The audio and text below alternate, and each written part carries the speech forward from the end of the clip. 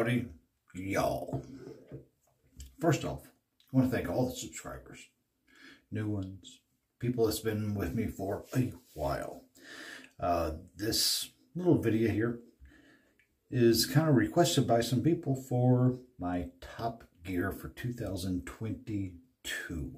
Hmm, where to start? How about with the razors? Probably my favorite of 2022 is this. This being the RazoRock Lupo 0.72. For me, this is pretty close to perfect shave. Um, just smooth, no blade overhang. You know, I forgot what this handle's called. Maybe the UFO. Oh. But the RazoRock Lupo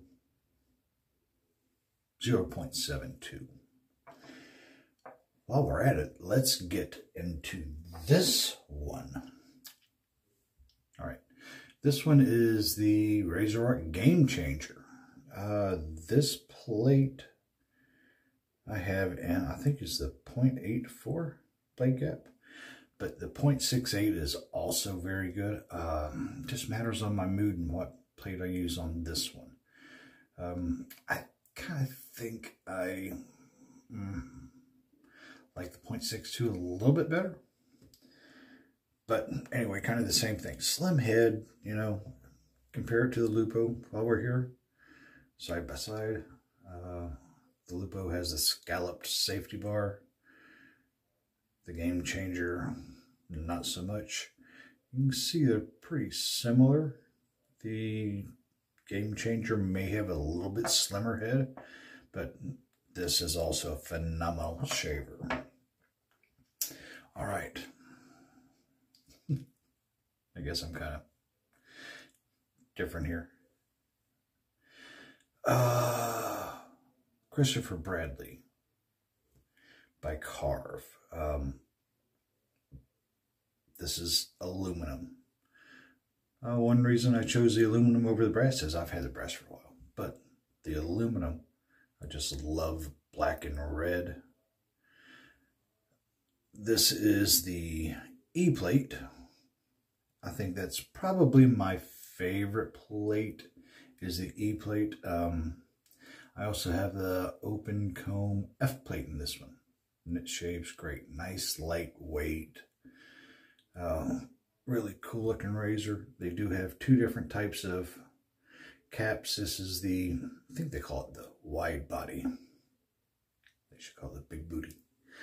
And it it covers the blade cap blade ends at the top, but not the bottom. I found I can still nick my ear with this one. So, but I just love the looks of this razor and how it shaves. All right. Sorry. Karve Overlander in aluminum. Um, I like the brass one. However, I didn't like the handle on the brass one. Um, this one, before I ordered it, I emailed Chris over at uh, Karve and he said, hey, just put a comment in there on what handle you like. So these two razors actually have the same style handle. So while we're at it, we might as well take a look at these side by side. Uh, on this one, the Karve has the scallop safety bar and the Overlander does not. This one, I can't recall uh, on the overhang. If you look here, if I turn around where you guys can see maybe. This one, the base plate's a little bit longer, so I'm assuming no overhang on this one. All right, that's the razors. I'm I'm sorry, there was two from Italian Barber slash RazoRock and two from um, Karve. It's just how it was this year. All right. brushes. Love this brush. This is a uh, Cayuen. They call it the Diablo handle. I forgot what number it is. There's different style handles and everything. And this is the 24 millimeter um, High Mountain White Badger. Just absolutely phenomenal badger brush. Looks cool, long handle, can grippy, grippy, very good, very well. Uh, and I guess AP Shave Co. Uh, forgot the name of this handle, but it was a second. What's wrong with it? I believe he said the blue was, you know, bleeding out in the clear. Hey, I'm upside down. Can you see me upside down? Um, so it was discounted. The knot is a cashmere knot, which is a synthetic knot. Um, but it's not like most other synthetics. It's got a decent amount of backbone while still being just luxuriously soft.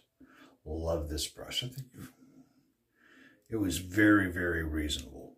Um,